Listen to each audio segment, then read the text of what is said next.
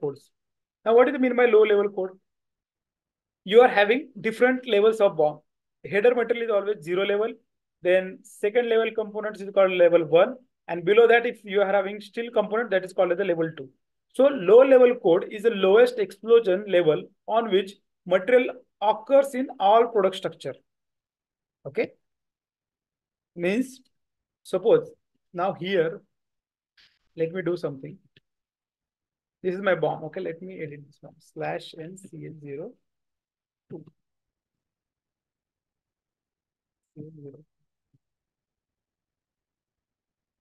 What is happening, man? Ah.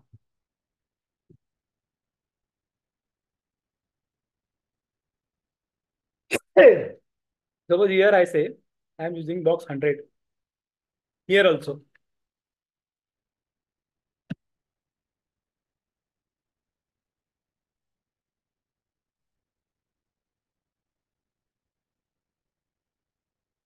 Okay. So in my battery BLP also I'm using one box. Okay. And here in my laptop B14, I'm also using this lap B box. Okay.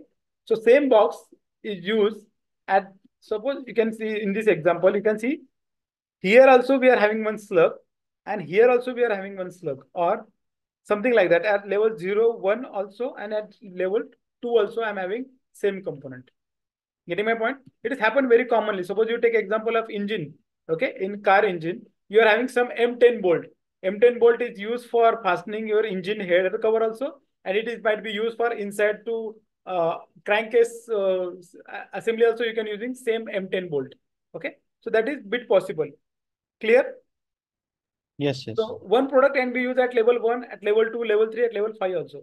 So low, low level code means what? When you create a BOM, a low level code is automatically assigned to each material, which is used in MRP and costing. Okay. Low level code are used in MRP to determine the sequence of the, in which material are to be planned. So when we are going to learn MRP, I will talk about this part low level code, but just try to understand low level code is nothing but at what level this product is used according to the level is getting updated. Now here we are using box here in level two. See, this is my level zero. This is my level one, my bad. Okay. This is level one. And if I go in this sub, uh, sub assembly, inside that, again, I'm having it. Okay. So this box 10 is having two position. This is level 2 compared to my laptop B14. For laptop B14, it is at level 1 also. And inside this means level 2 also. So how I can find what is my level of the material? So you have to go to Material Master. Now, now I'm in MM03. And in Material Master, if you click on this I button, I button, then you can see you are having low level code updated for the material. That is low level code is 002. Why 002? What is the lowest level? Your material. Side sub-assembly also we have. Yeah. So why yeah. does in this sub-assembly it is also used? My bad. Okay. Slash n CS03. In this sub-assembly also it is used. Okay. And this battery is going. So there is one T code slash n CS15. Okay, this is one report. We'll go to that later. Okay, here if I put component box, what is that component? Box 100, right? Box hyphen 100. Yeah.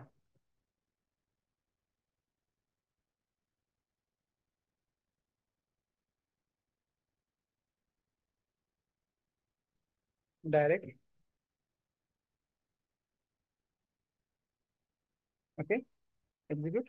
So I can see where, what are the different bill of material in which it has been used. So it has been used for battery LP B15 and it is used for laptop B14. For these two different material, I, I have used it. Okay. But this battery, if I click on this battery, this battery B15 is also used for laptop B14. So that is a reason we are get, getting the low level code as a 002. Okay. If again somebody uses this box 10, 100 at something at a level below this slug, something, then it will have 003. And below 3 also, if you use, it will become 004. What is the lowest level? That will always available for that particular material. And which is used for BOM explosion in MRP. That is the major use of it. Okay? Are we clear? Team? Everybody? Yes, Okay. Now, next part, I will take a small.